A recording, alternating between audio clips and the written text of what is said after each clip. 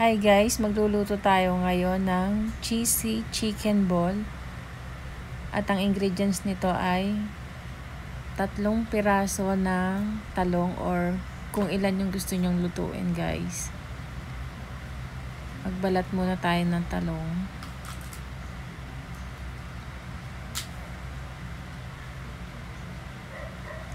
And then, hiwain natin ng maninipis para hindi halata ng mga bata na talong yung ating niluto.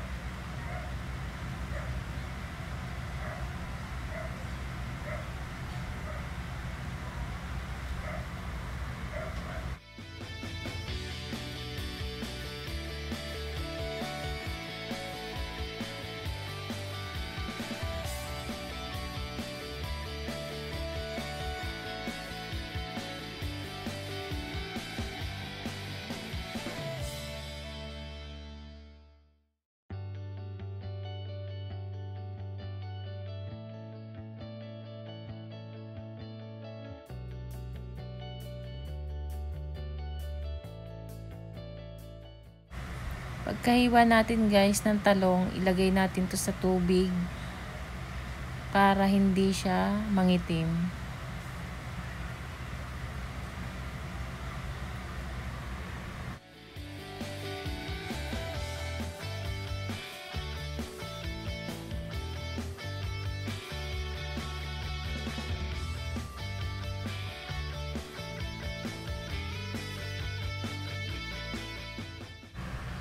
Tapos maghiwa tayo ng bawang.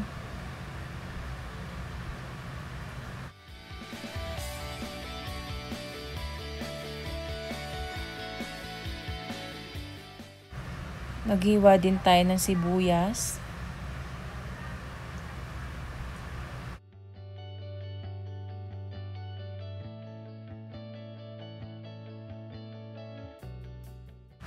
Pagkatapos magpainit na tayo ng kawali at lagyan natin ng mantika. Kapag mainit na ang mantika, pwede na nating ilagay ang ating sibuyas or sorry, ang ating bawang. And then, ang ating sibuyas. Pwede naman kahit na ano yung mauna kung ano yung gusto nyo unahin, bawang or sibuyas. Kahit alin pwede naman.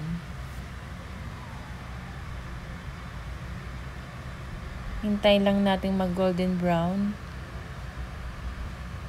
ang ating bawang at sibuyas. And then, after that, ilagay na natin ang ating chicken. Pwede din naman ang giniling guys. Pwede ang giniling na baboy or giniling na baka. Sa akin ang ginamit ko ay chicken. Yung chicken fillet na maliliit yung hiwa. Tapos takpan natin guys para mas madaling kumulo at mas madaling lumambot ang aking ang ating chicken.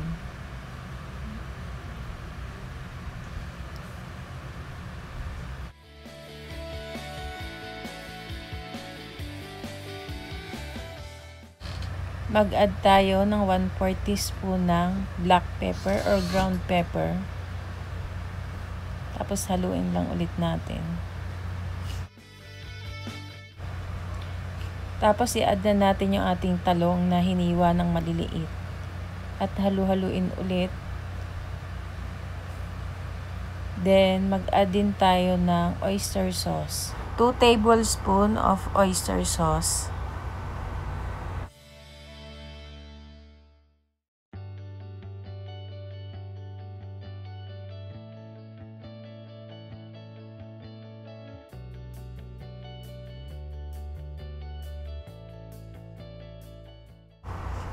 Tapos dagdagan natin ng asin, depende sa panglasa nyo.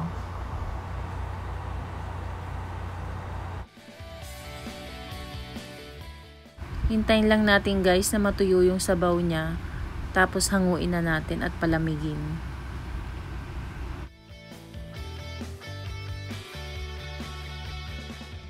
And then haluan natin ng 80 grams na breadcrumbs.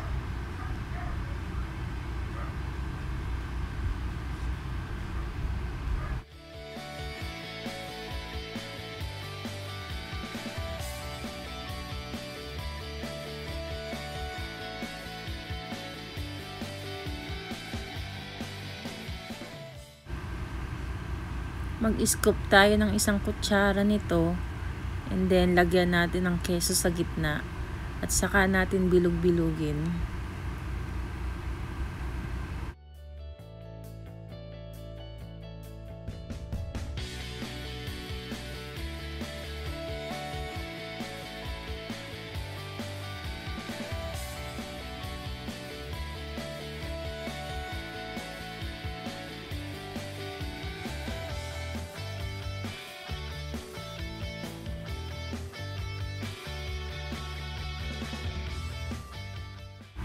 At ayan, ready na ang ating cheesy chicken ball eggplant.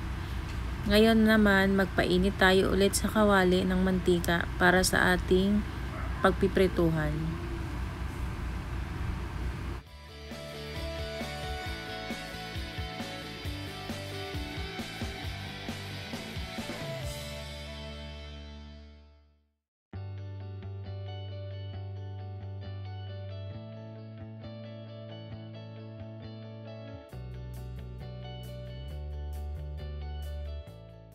Then, hintayin lang natin siya na maging golden brown. Saka natin siya hanguin.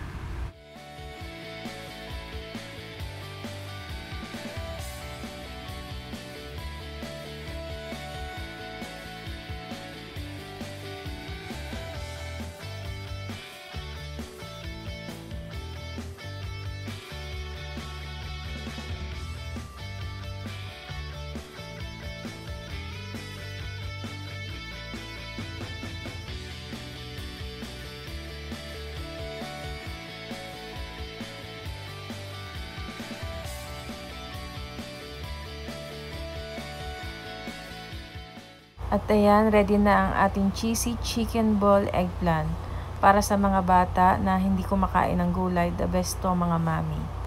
Thank you for watching!